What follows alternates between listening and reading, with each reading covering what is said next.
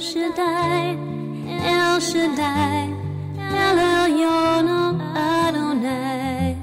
Age to age, you're still the same by the power of your name. El Shaddai, El Shaddai, Elkom Kono Adonai. I will praise and lift you high, El Shaddai.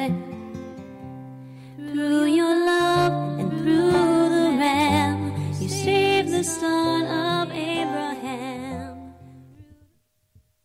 Hey, hey, hey, and praise God for this glorious day. This is Zach Mitchum, your host of What Jesus Says. I want to welcome you back and being so faithful in joining us every Friday evening, 6.30 p.m. Eastern Standard Time to learn more about what Jesus has to say on controversial issues facing us today. This is the day the Lord has made. We'll rejoice and be glad in it. And we want to pray for peace, Lord God, in our nation and calm as we go through these tumultuous times. And we know that you're in charge. And just be still and know that you're God. Let's lift up this broadcast up to you, Jesus. Lord God, I thank you for your opportunity you've given me for this forum. I bless your name at all times. Your praise shall continually be in my mouth. You're worthy, Jesus. I pray for those that are less fortunate, those in hospitals, nursing homes, hospices, homeless shelters, those incarcerated, those unemployed, even those that are on death row, that you give them peace, Father. I pray for your apostles, prophets, evangelists, preachers, teachers, local and universal. Pray for your churches, local and universal, Jesus. Pray for our leaders all over the world. We pray for our enemies that they cease from troubling. We pray for the peace of Jerusalem that we prosper, love the holy city. Peace be in the gates, prosperity in our palaces.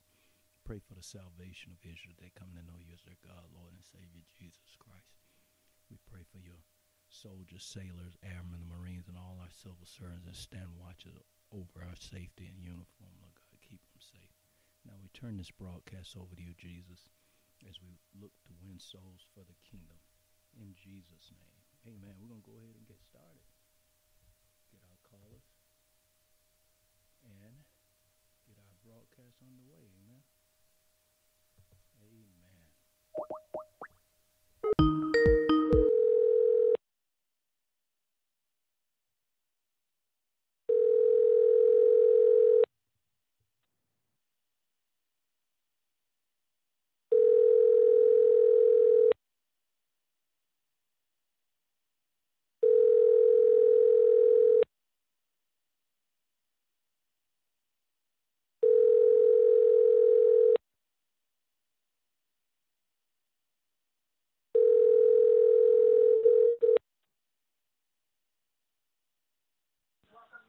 Hello.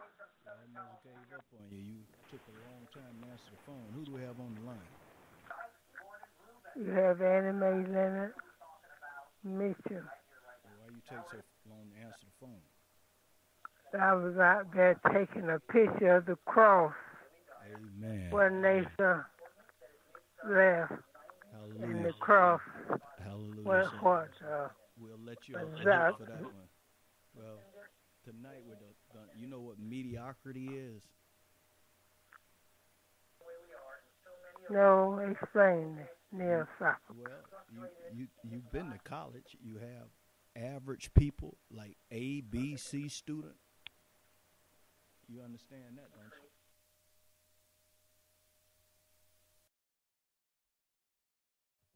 Who do we have on the line?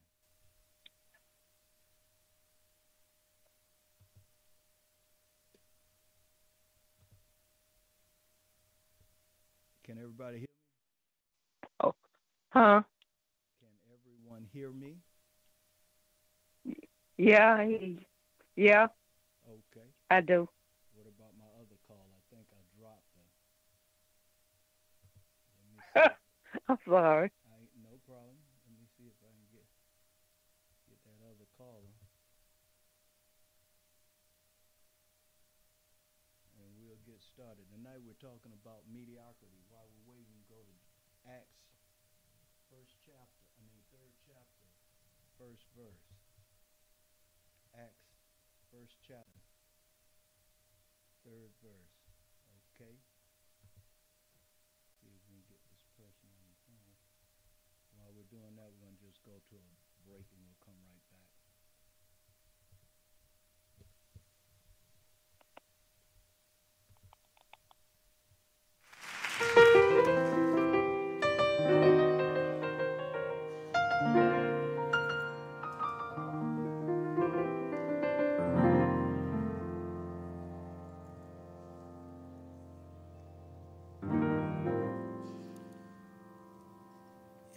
So good to make it this far.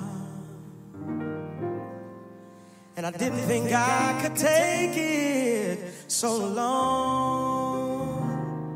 There were days I wanted to quit. And I said, surely this is it. But I held on.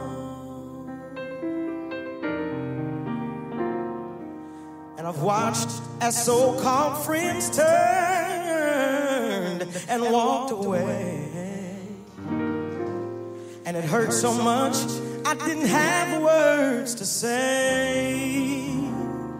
But even when my day turns to night and nothing seems just right, Lord, I thank you for, for my life for my life.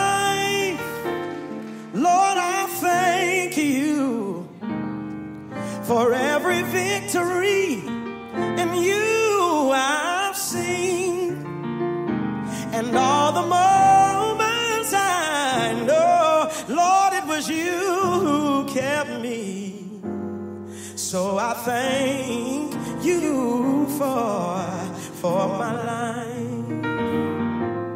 And I've watched you take my family from there to here. And when times were a little rough, God, I know you were near. Thank you, Jesus. And the moments I thought I'd fail, I was reminded of your nails. So I held on.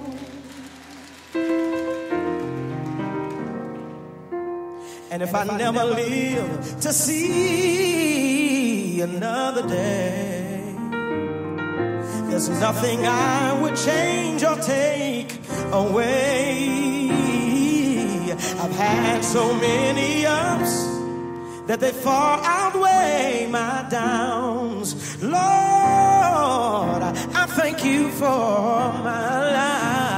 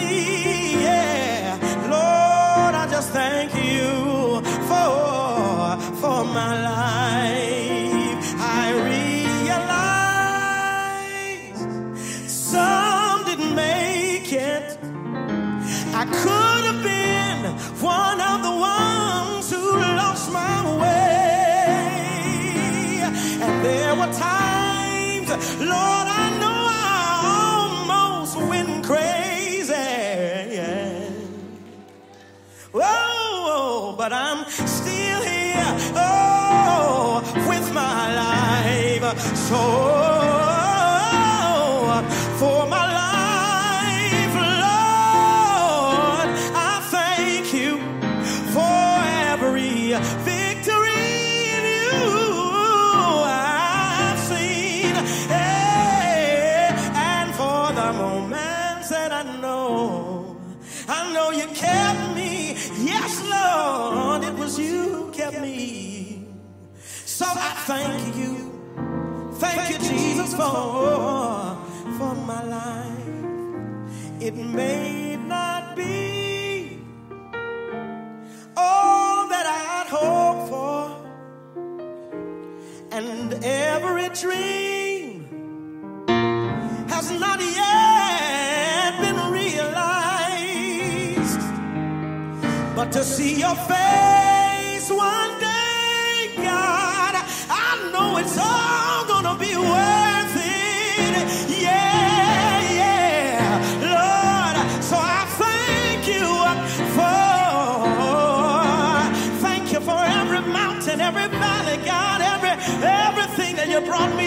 thank you for. I know, I know it was you, God. I just want to take the time to say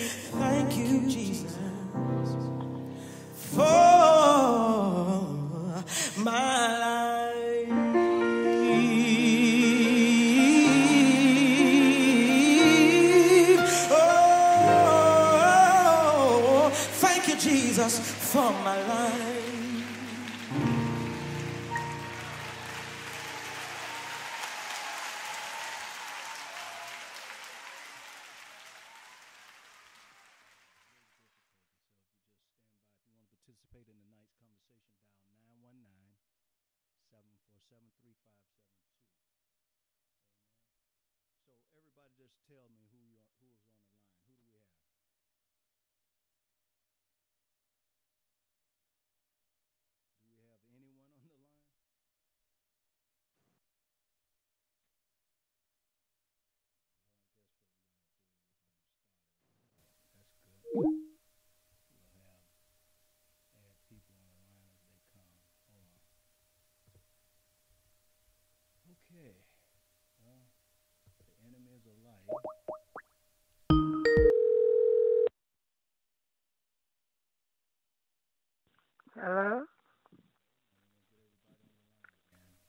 Hello? Can you hear me? Yes, I can hear you now. When you ask me, can I hear you? I hear you now. I checked to see if all the phones was off. Do you have uh, your word with you? Do you have your Bible with you? I have my Bible with me, yes. I was asking you a question, so you got to answer me when I'm talking to you, so I'll know you heard me. Okay, so here we go. Go to Acts, the third chapter. So we have everybody now? You got to answer, so I'll know you're there. Y- Yes, Yeah. yes. Okay, so Acts third Acts. chapter, first verse.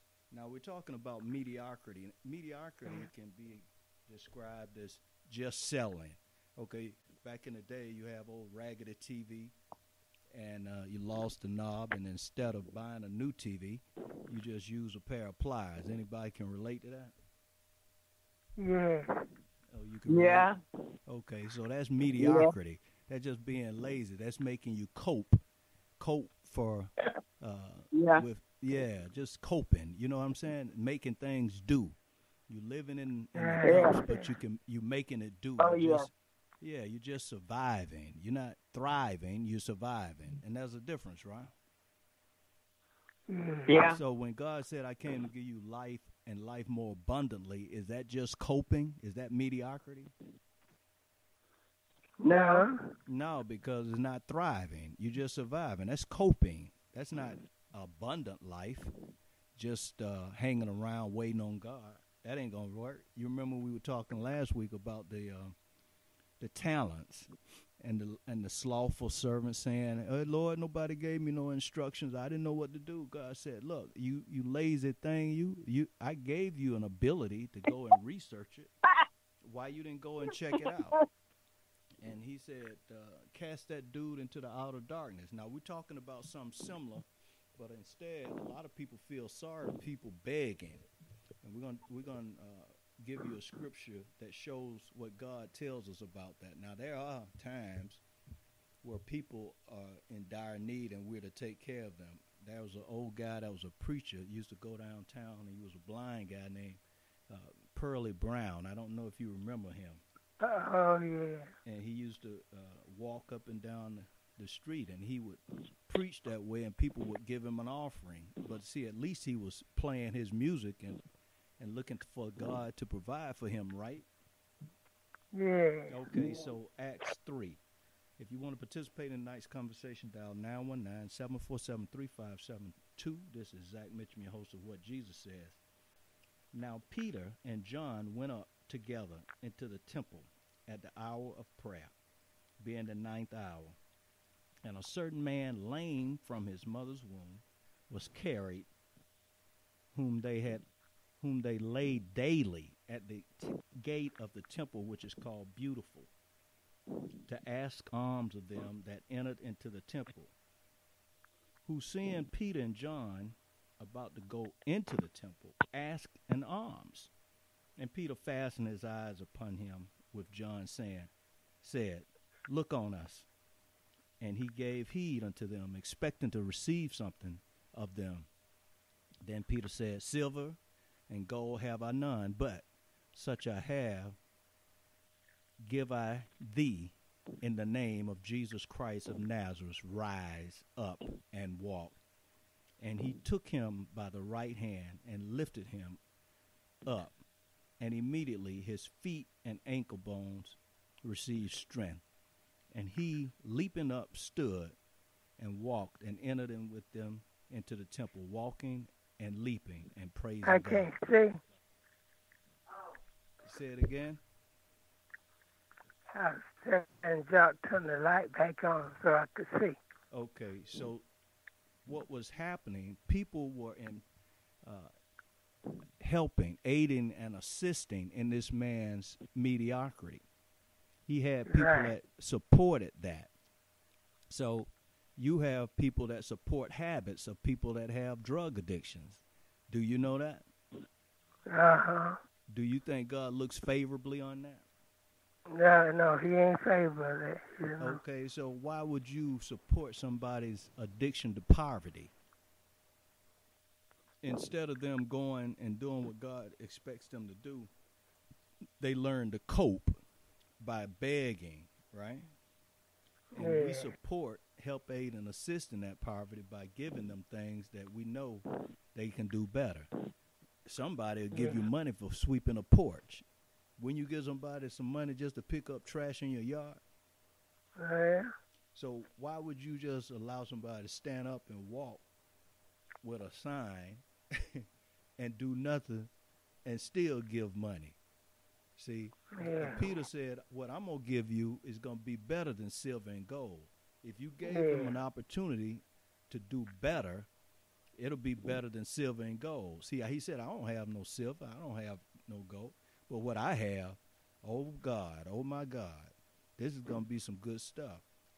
And he expected something. He didn't know what to expect, but uh, right. he expected something. And when he fastened his eyes on him, looking at him as he asked, he got what he expected. He got more than what he expected. He got a healing. You understand? He got fulfillment. Huh? So when, when we empower others and when we uh, assist and help into the uh, uh, support group of those people that are living in mediocrity, we are just as guilty as they are. You can't just idly stand by and feel sorry for someone without trying to help, aid, and assist them to grow. Do you understand that? Yeah. And that's the same with anything. I mean, you, you can't be a support mechanism for uh, poverty, drug addiction, uh, uh, abuse, any of that. God's not pleased with that. So, what we want you to take away from this is that the disciples didn't, uh, you know, empower this guy to continue to be powerless. Instead, they gave him things that he needed that was spiritual. See, we look at, well, Lord, I ain't got no education, I ain't got no money. What can I do for you? He said, I ain't never asked you uh, how much education you got. I ain't never asked you how much money you got. I never, that never came. Don't you know I created you? I know exactly what you're capable of doing. Do you know that Jesus knows exactly what you're capable of doing? Yes. Yes, you know. And you know, we uh, always help those people that could not help themselves. Because That's a difference. That's a difference than people just philanderers. I told you the difference in the the uh, servant that was lazy, right? Yeah. We're not talking about those people. He was just lazy. But a man But that's EJ and EJ and all those people, they weren't lazy. They, they need some help. so that they well, when could. we go to nursing homes and hospices and homeless shelters, that's different than what we're talking about tonight. Do you understand the oh difference? yeah, yeah, that's different. Yeah. Okay, so we're not talking about nobody trying to get three dollars to go get some E and J or drink some uh, Mad Dog. Alcohol. Yeah. I understand. We're talking about somebody that uh, was uh, being supported by a support group that would allow him to be brought to that place. They didn't do him, and they said that's his friend. These people brought him there. Do you think that they were their his friends? Do you think your friends would No, take you to a gate no, every day that, and that leave was you there different. to bed? That was different. That was different. You would call them your friends if they took you to a place to beg all day? No, Yeah. Okay. So the same with Lloyd. He done. He done. God is not a God of mediocrity. God is not a God of lack and poverty. Right. God is a God of uh, excess. Now He doesn't give you that just to, you know, show off your pretty car, and your money is to help others that's less fortunate. So how you gonna help somebody if you can't even help yourself? and I think people got it twisted. You only get this one journey, and it and time goes in one direction. You can't think about the things in the past. You only live in the here and now. You know that, right? right. So whatever you do for Jesus, if you got ten years left, if you got one year left, if you got fifteen seconds, it's all about the kingdom. Because all of us gonna have to end up in the same uh, physical uh, situation. I mean, is the grave for uh, Lazarus the same as the grave for the rich man? Are they the same dimension? Yeah. Did you hear the question? You said the grave, the grave's the same. They don't change. The grave size don't change for nobody, does it? No. Okay, so what's the point? It doesn't even matter if you're rich or poor. Your grave say gonna be six feet by whatever, right? All right. Huh? Yeah. All You're right. right. Yeah. So I'm asking you, what you're doing, you're doing it for the the Lord. I don't Look care how much the time. top. That's right, and He will honor you by giving you provision on earth. But He says, store up your treasures in heaven. He told you that for a reason. Are you gonna be on earth longer than you're gonna be in heaven? So why No. should you invest in stuff down here? That don't make sense. He didn't tell you to be ignorant. He said, let it be on earth as it is in heaven. And it can be that Oh, way. yeah. But it's for a reason. Now, for your generations to come, you're preparing for them. But you're not to uh, leave it as, you know, this is the end all. This is it for me. No. you know, it's something that you're striving for. What are you striving for? What are you working for? I mean, I worked 40 years and I call it a day. My dad worked 60 years and didn't have nothing. That's crazy. I would prefer to uh, end the rest of my time with my family. Do you understand that? Yeah, yeah. And he did the best he could with what he had. I mean, that's all he knew, the work. And when he had no work, that meant in his mind he has no value. But that wasn't the case, was it? It wasn't the case. Because we still love him, even if he worked, he have a job? But w- look, we were the only family in the neighborhood. It was only like one other family with a father. Isn't that crazy? Um, It, yeah, my my. How many other families had a father in the house? there's no other family. Except for Mr. Cleveland. That was it, right? Yeah. Two men in a whole neighborhood. Does that sound crazy to you? Man, man. Yeah. I, so, see, I was raised with a father. Some people can't even say that. To have a dad, a man, and a woman in the house together. Yeah, I don't care. We didn't care Okay. if, if they were rich or poor. Did that ever come into into play? That didn't come into play. When I went to sleep, I saw my dad and my mother. Amen. That that meant a lot. That lot. was a blessing. It is a blessing. They do. Amen. So I want you guys to understand that the things that are most important in life is what God gave us a unit, a family unit, life itself, you know. And don't get caught Oh, yeah. chasing uh, prosperity, dollars. He says, Seek ye first the kingdom of God, and all these things will be added unto you. Seek ye first the kingdom of God. And I can testify today that the things that I didn't have, everything that I ever wanted, as far as my earthly thing, I've gotten them and more. Now my whole concern has been the same as I've always been taught from a child up, is to help those that are less fortunate, right? Those that are homeless, hospitals, nursing homes, hospices, homeless shelters, those incarcerated, unemployed, on death row, huh? And if you look in Matthew 25, the Lord will tell you, when I was in prison, you visited me. When I was naked, you clothed me. You remember that? Yeah. Okay, so let's listen to and, and because this is the way God is. I play this song all the time so that you'll get an understanding of the kind of God we serve. So listen and, and listen to the words. Welcome, Welcome Mr. Troy Price.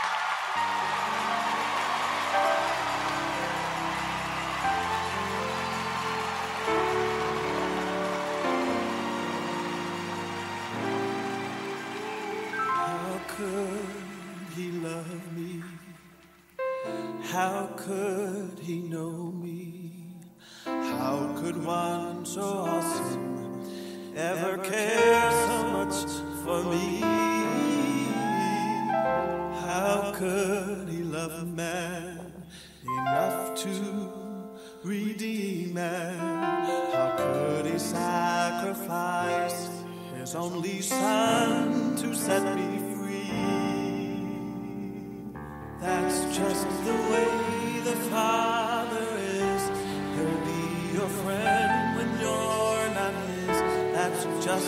his way. That's just the way he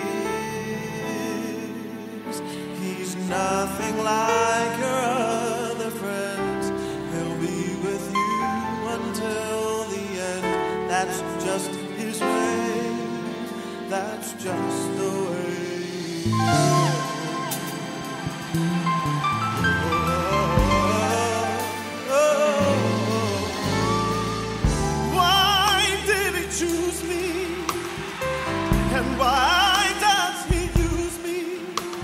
How could he put his trust in me to carry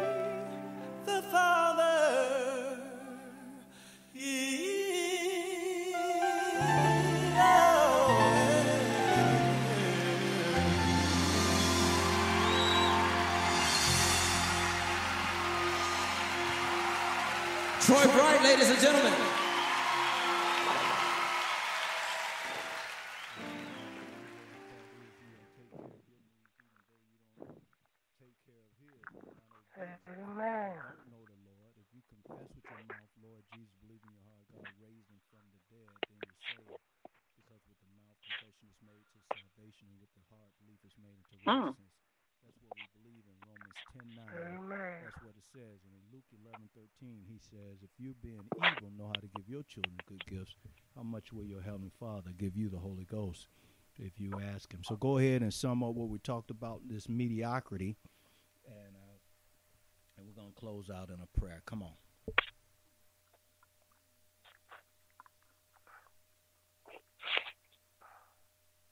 I was looking for someone to jump to and Yeah, that was good. I didn't get on home what I should have gotten out of the lesson. That's why I didn't leap out in it. But you, you didn't get that God didn't want us to be but- lazy. but but I know what we talked about about you. Talk, told us that if we trust and obey to the end, that Jesus is with us He will never leave us because He He never he He stayed on that cross and He died for us and He did all of that for us and when we think of that the least we can do is uh, trust and believe. All right, so I'll take that. I mean, I'm I'm gonna give you a, a B.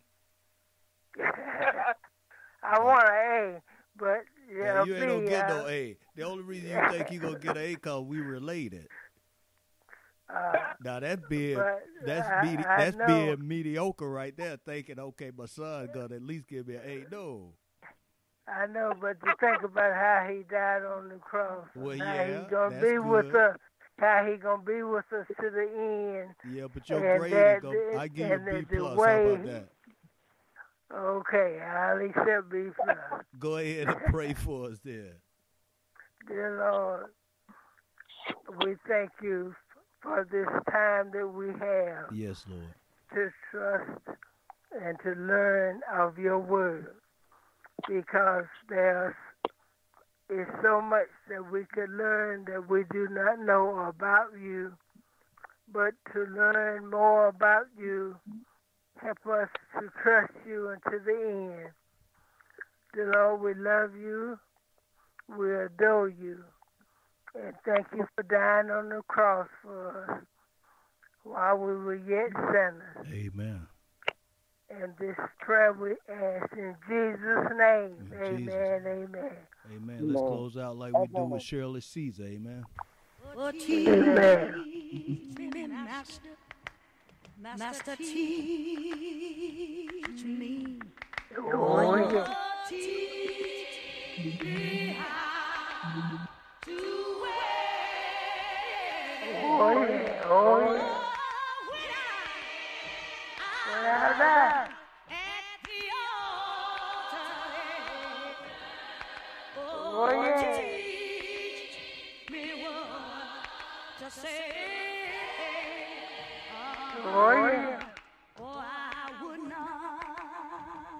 Well, now.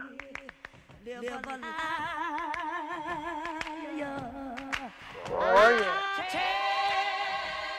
the reason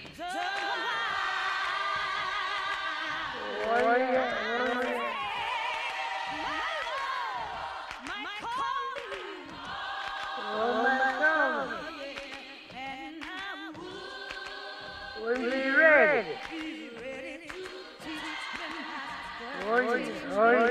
Come on, master. Teach me, Master. Sound good right now. Listen. Yes, sir.